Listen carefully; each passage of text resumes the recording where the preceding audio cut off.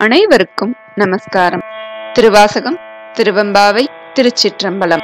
காதார் குழையாட பைம்பூன் கலனாட கோதை குழலாட வண்டின் குழாமாட சீதப் புனலாடி சிற்றம் பழம்பாடி வேதப் பொருள் பாடி அப்பொருளா மாபாடி சோதி திறம்பாடி சூழ்கொன்றை தார்பாடி ஆதி திறம்பாடி அந்தமா மாபாடி பேதித்து நம்மை வளர்த்தெடுத்த பெய்வளைத்தன் பாதத்திறம் பாடி ஆடேலோர் எம்பாவாய் இந்த பதிகத்தின் பொருளை பார்க்கலாமா?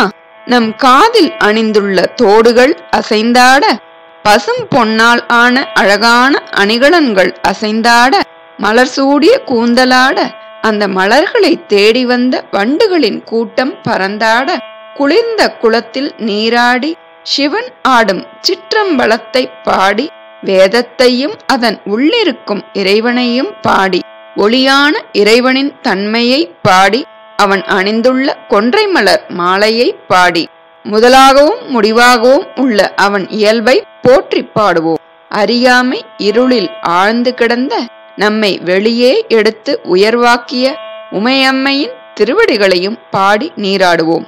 நாம் தில்லை சிற்றம்பலத்தில் நடனம் புரியும் அந்த அம்பல கூத்தனை பாடி ஆடுவோம்.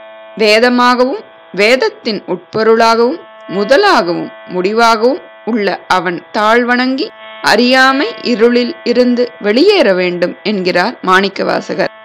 இன்னொரு முறை இந்த பதிகத்தை பார்க்கலாமா?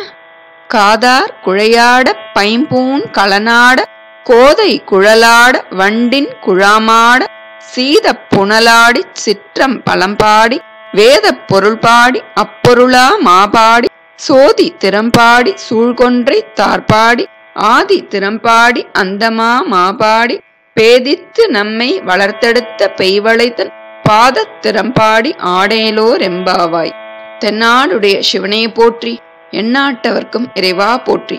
ஓம் நமக் சிவாய திருச்சிற்றம்பலம்.